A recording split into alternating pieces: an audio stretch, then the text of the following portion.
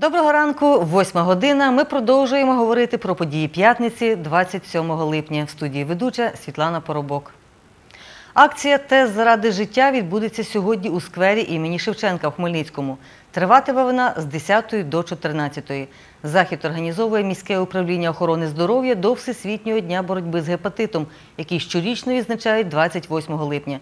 За словами начальника управління охорони здоров'я Хмельницької міської ради Бориса Ткача, акцію організовують, аби хмельничани більше знали про поширення, симптоми, методи діагностики та лікування гепатиту. У рамках заходу охочі можуть отримати консультацію спеціалістів і безкоштовно пройти швидкий тест на визначення гепатиту С.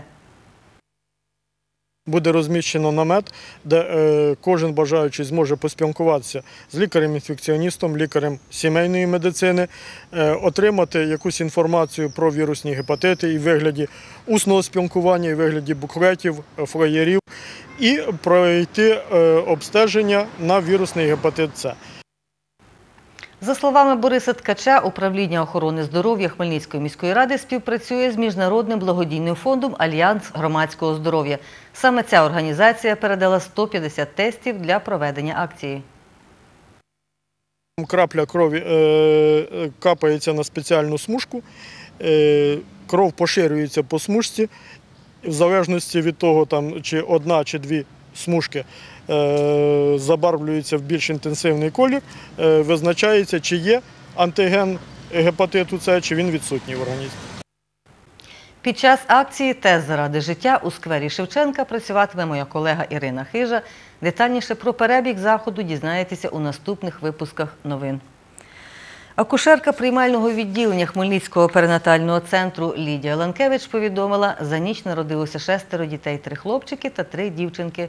Найбільша вага дитини 3 кг 950 грамів, найменша 2 кг 770 грамів.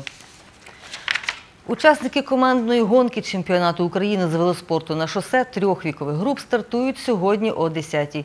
Відбуватимуться велосипедні шосейні перегони, повідомляє віце-президент Федерації велоспорту в області Анатолій Білик.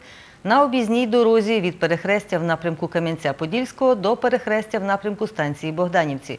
Сьогодні спортсмени долатимуть дистанцію 25 кілометрів.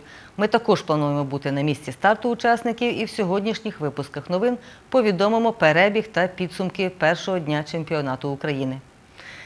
На цьому наш випуск завершено. Зустрінемося за півгодини.